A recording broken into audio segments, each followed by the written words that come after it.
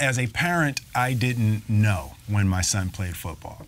Um, and my son was on the field, and I was concerned about him breaking his he? leg. He was he played from uh, 14 to 18, and um, we were on the field, and I was you know concerned about him breaking his legs, and the big thing was was spinal injury. Um, so I had no idea.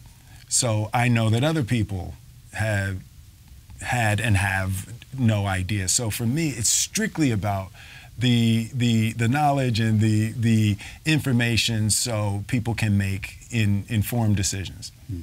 And and if you had to make a decision now, if he was 14 again, and you know what you know now, Well, fortunately, this is just a hypothetical. Okay. So, um, because he was really into it. So, um, as a as a parent, that would be extremely difficult. I'd, I'd what I would do is I would want him to have the information. I would want him to You'd leave it to him? understand. Um, we, we'd have to make the decision together. Um, uh, what I'm what I'm going to say is really weak, but I would just you know I would support him and then make his mother say no. If we're gonna be really honest. If we're gonna be really honest, like, man, listen, you know, you know, it was just me and you, you know, but your mom, man.